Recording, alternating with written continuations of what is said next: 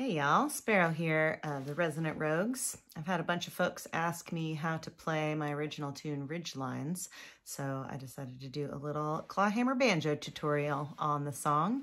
I'm going to play through it nice and slow, just the whole way through the main melody instrumentally, and then I'll break it all down. So here goes.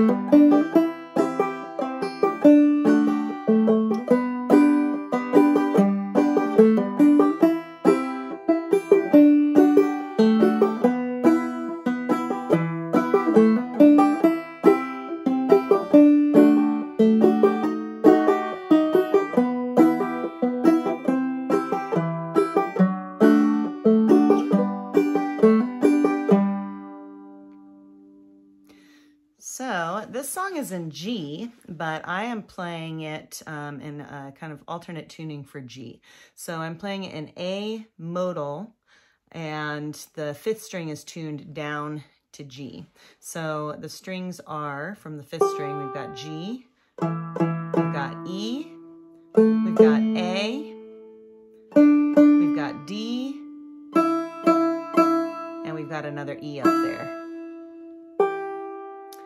So that means that unlike many banjo tunings where you have kind of a very easy open um, open chord, um, our home base chord is using three fingers right here. So this is the G chord.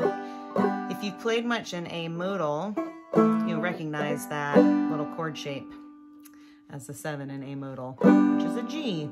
So I'm on the third fret on this fourth string, the second fret on the third string, got an open second string, and then the first string I am on the third fret again. So that's kind of the home base chord in G. I'm going to go through all the main chords because this song, even though it has um, definitely a lot of melody happening, uh, I'm also just playing chords and especially in the chorus is pretty much mostly chords. Um, so here is the G chord and then we have got the E minor chord. I'll do that next because that's another home base chord here.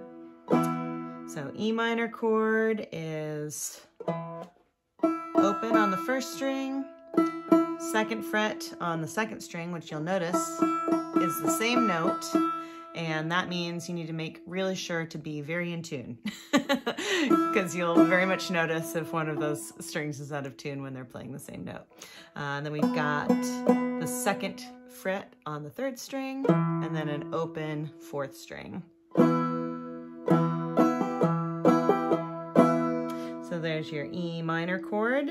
Um, and then we've got a C chord. Oh, Nope. Sorry about that. um, C chord, which is the four chord here. Um, so G is the one. That is the first note in the key that it's in. Uh, e minor is the minor six. The four chord is going to be the C, which looks like this. So we've got third fret here, second fret here, third fret here, and then open.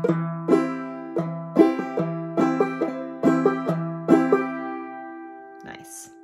And then we have one more main chord here, which is a D chord, the five chord.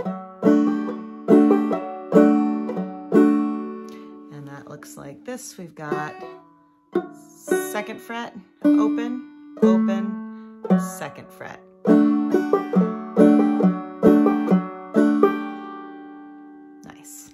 Uh, there is one more chord in this song, and it's a little bit of a weird one. Um, I have it written out as F sharp diminished over B, but I don't know. It's just, this is what it looks like. um, so we've got the second fret here, first fret there, open string, and second fret. And that just comes from this, and then you just put that finger down, and that's how I wrote it. I wasn't thinking about the um, music theory behind why that sounded nice. I just put it in there. So, um, so let's go ahead and go to the melody of the A part now. Um, and you'll notice where all of those chords get thrown in. So we're going to start out with some pull-offs and then a drop thumb.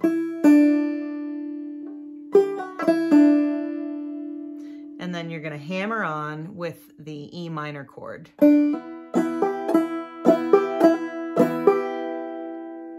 So just that little bit of melody looks and sounds like this.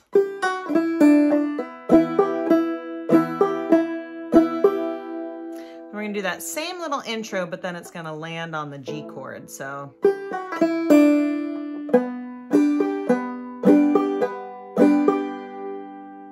So you'll notice that the way I'm like doing the strum ditties um, is, well, I'm playing the bum, strum, thumb, bum, strum, thumb.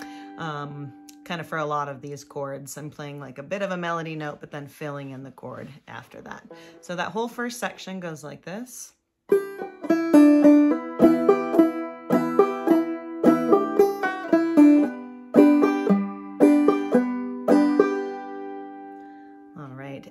Point in time, if you need to redo anything, this is the internet. So you can just pause it and go back. If you want it to go even slower, there's a very handy little wheel symbol down there uh, where you can change the speed of any YouTube video. So that was a very mind-blowing thing when I learned how to do it. Maybe it's cheating, but whatever. Whatever helps us learn, right? Um, so yeah. Uh, moving on from there, we've got, let me just play that part again so we can find our place.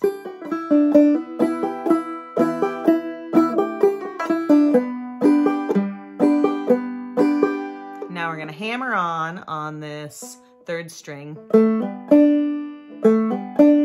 And I'm keeping that chord shape down for the most part. You can just hammer on with this, or you can hammer with both. And then we're going to go to that that C chord. So, and then to the D chord, and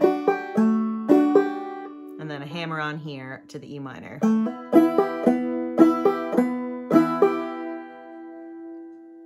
So that whole, that whole little section one more time is hammer,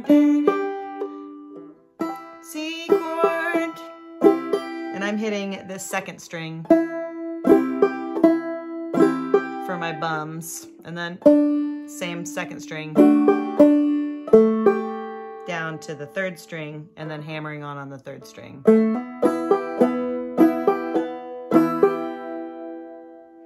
All right, and then it kind of starts over, but it has a second ending. So we're gonna do this again.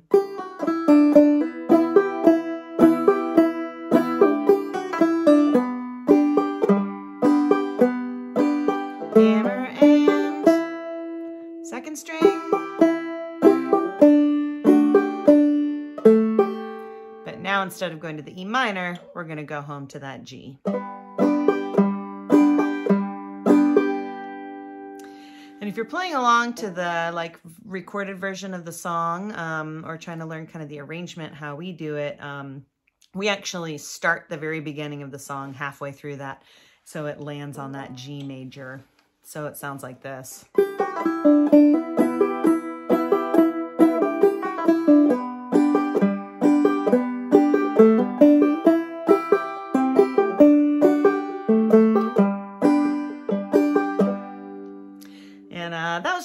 Songwriting device to have there be some of the melody at the beginning, but we didn't want to make it so long to like go through the whole form so that the vocals could come in.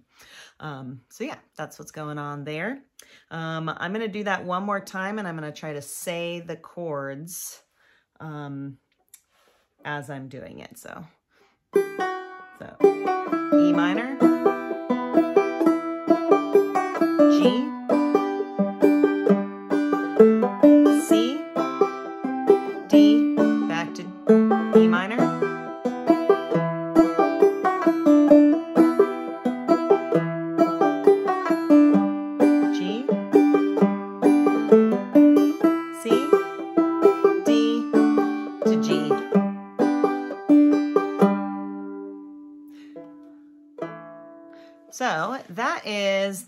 main part of the melody for the verses. Um, the way that I play the chorus has like bits of melody thrown in, but it is very chord heavy, very chord based. So um, yeah, I'm just going to show you how I do it. And I, when I'm doing a lot of my strumming, you might notice that I'm doing kind of a pattern of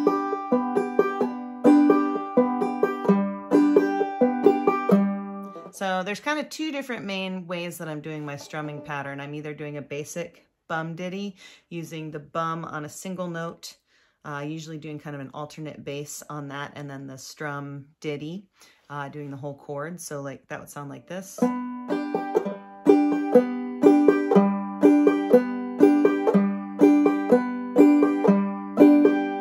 Or I use a syncopated thing with a drop thumb that sounds like this.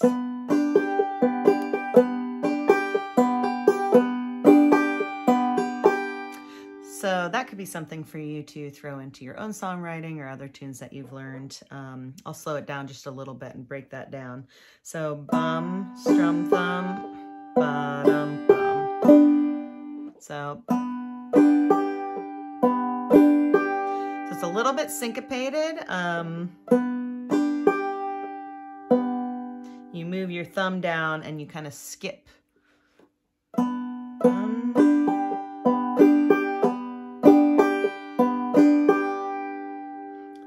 That's one of those things I haven't explained very often in my life. I just kind of started doing it and um, that's how I play a lot of the time. So um, if you're ever wondering, what's that weird syncopated thing that she's doing? There's an extra slow-mo version of it.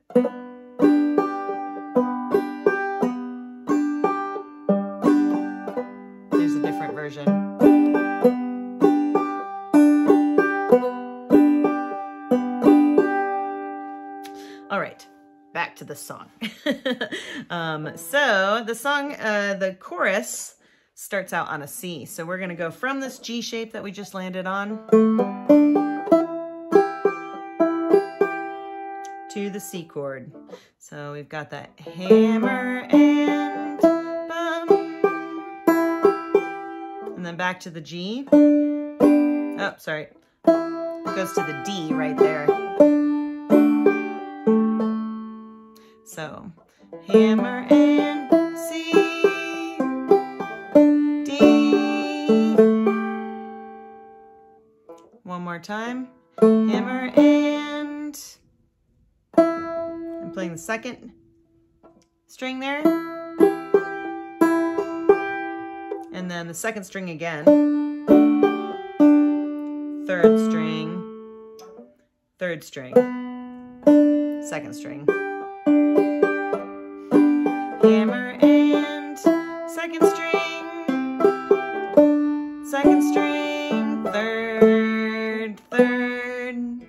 then it goes to an E minor. Hammer and, you notice that hammer and will be the same notes, even though I'm using, I'm coming from an E minor chord here. And the first time I was coming from a G major, but they both have that second fret on the third string happening. So um, still has the same kind of feel, even though it's coming from a different chord.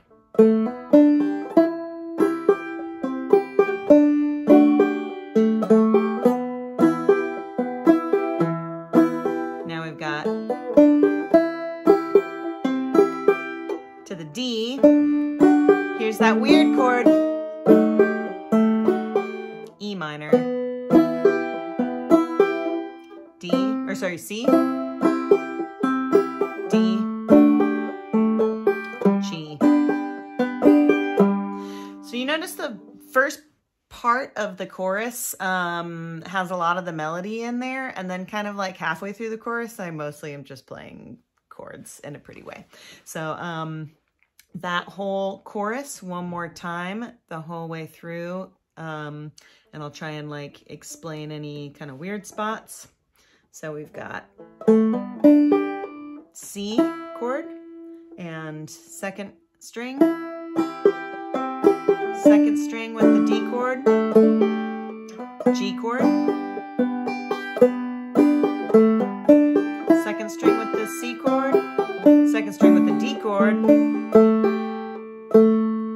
melody note there with the third string, and then E minor. Hammer and C, D. Here's the F sharp diminished thingy, E minor,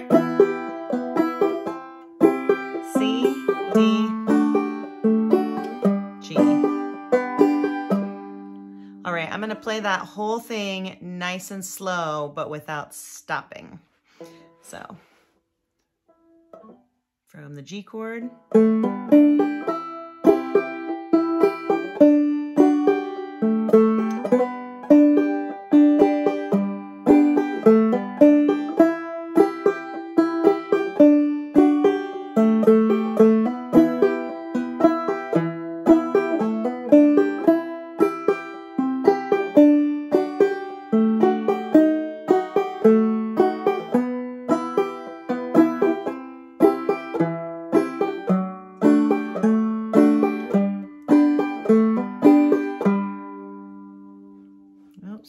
Of tune. Sorry about that.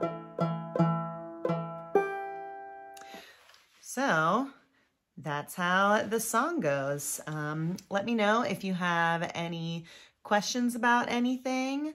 Um, and let me know also if there's any other songs that you want me to do tutorials for. I know that this is kind of like an intermediate, at least, uh, banjo tutorial video. I've been playing clawhammer banjo for almost 20 years now. So um, if you are just learning, hang in there and keep having fun with it because that's the most important part. And uh, if you've been playing for a long time, there's always new things to learn. I'm still learning tons of stuff. And uh, thank you so much for coming and playing banjo with me. Oh, make sure to do all the things like and follow and comment and listen, tell your friends, all that good stuff. All right. See you next time.